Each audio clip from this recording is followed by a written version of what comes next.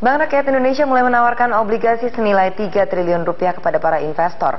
Obligasi tersebut merupakan bagian dari obligasi berkelanjutan dengan target dana 12 triliun rupiah yang disiapkan dalam jangka waktu 2 tahun ke depan. Menurut Direktur Utama BRI Asmawi Syam, BRI akan menggunakan hasil penerbitan obligasi ini untuk pengembangan bisnis, terutama penyaluran kredit berdasarkan prinsip prudential banking dan good corporate governance. Asmawi merinci BRI dan penjamin emisi menetapkan kisaran kupon bernilai 8,1 persen hingga 8,4 persen untuk obligasi 370 hari, 8,7 persen hingga 9,2 persen obligasi untuk 3 tahun, dan 9,1 persen hingga 9,6 persen untuk untuk obligasi lima tahun. Pertama, sebanyak-banyaknya 3 triliun, kemudian eh, selanjutnya 3 tahun dan lima tahun.